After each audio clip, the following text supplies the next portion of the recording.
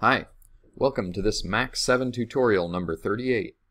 Intro to Jitter, more JIT ops. So we've been exploring um, the JIT op object and how it's used to merge media, merge video.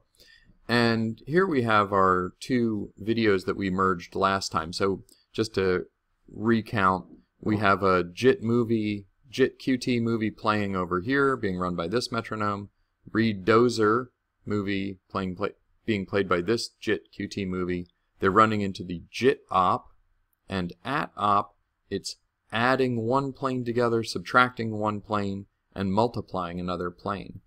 And in this video, we're just going to um, try to get better control of that two different ways. First, I'll show you how to get um, maximum control of it, and we'll do that first, and then we'll talk about the easy way. So we always uh, do it the hard way first, right? So let's grab these bunch and move them up and over here so we get a little more room over the JIT op and these over here and put these over here and um, what we'll do here is we're going to tell it to put something in here which we do by using our friend the prepend object so type n type prepend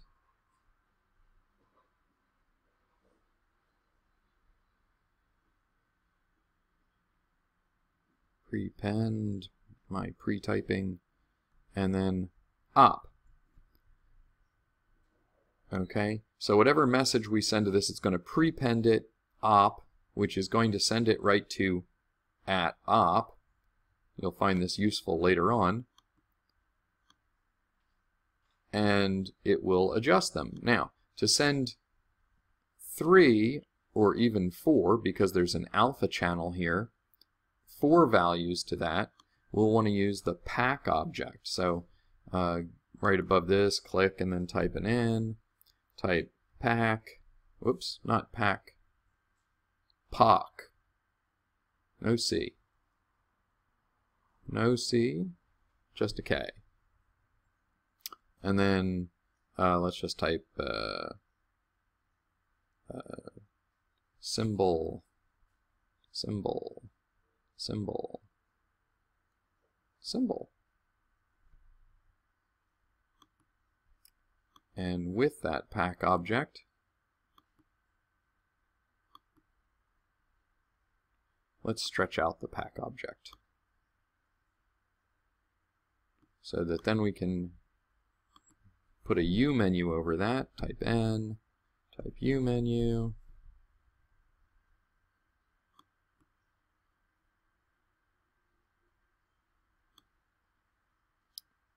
and let's put some, we can make this relatively small. So let's get an inspector on this one. That would be Command I, or you can just open it in the sidebar over there by clicking on this little white eye.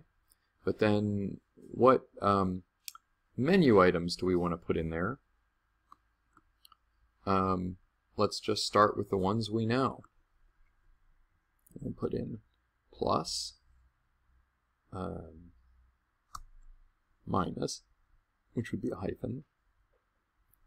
Actually, I, I know if you put a comma after them that it will definitely go to the next line. So uh, plus, comma, space, minus, comma, space, um, asterisk, which is multiply, comma, space, divide, that's a forward slash, comma, space, and um, uh, just for fun, um, we did this before, and I'm so I'm going to just refresh you. Do an exclamation point, and then minus, and that'll be our last one for for the moment. Exclamation point minus means that instead of taking the first one and subtracting the second one from it, it takes the second one and subtracts the first one from it. So just a good way to reverse things there. Okay, So now our U menu has that uh, those things in it, and we want to take the middle output, because that's where the symbol will come out, and attach that to the pack object. And then we want to duplicate this for each of the other inputs. So I'm just option clicking on it now and running that across. And then remember, middle outlet to each of these inlets. And we could make this a lot tidier. I'll be the first to admit. Um,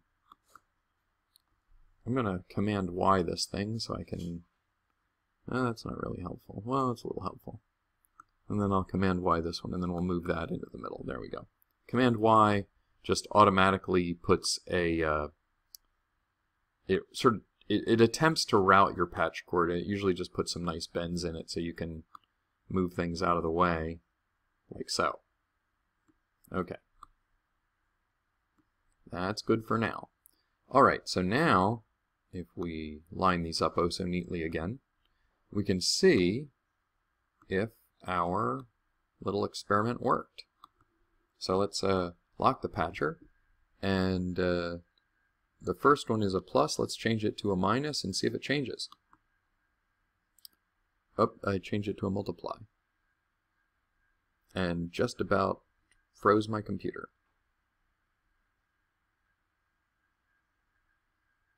Uh, because the other ones are zero, no doubt. So let's just change them all while the computer thinks about that. So let's make them all multiply. So I'm, I'm going to separate these two so they're not so weird and stuck together. Okay, yeah, I forgot about that. If you send one of these in, the rest of them were zeros, and it, it doesn't love that. So now we have them all multiplying. So the Dishes movie is being multiplied again by the so-called Dozer movie that we know as a backhoe. But we can change each one of them, if our patcher is locked, to do something else. So we could divide them. That, that would be dividing green um, we could subtract the blues backwards. Ooh, very interesting. And we can also play with the um, with the alpha channel. Um, now, just because both of the alpha channels are probably set at um, 255 or 1, depending on how you look at it, um, it's hard to, I guess if we divided them, that would be 1 divided by 1, which would be the same as multiplying them, 1 by 1. If you subtracted one from the other, you get 0. And, uh, um, hmm, added them together. Hmm, that looks like more like the blue channel. I'm going to go over here and see if this one does anything. No, this is, okay, alpha channel first, then red. Yeah, green, and blue. So they're all plus now, multiplying, dividing, and multiplying, and subtracting backwards. So that's a way to keep a very, very careful control over what happens to the planes um, that are going into the JIT op object. So one plane at a time, it's changing them, and you can have really tight control on your output in that way. I'm going to be back with another tutorial to just show you the easy way to do it, and uh, I'll see you then. Take care.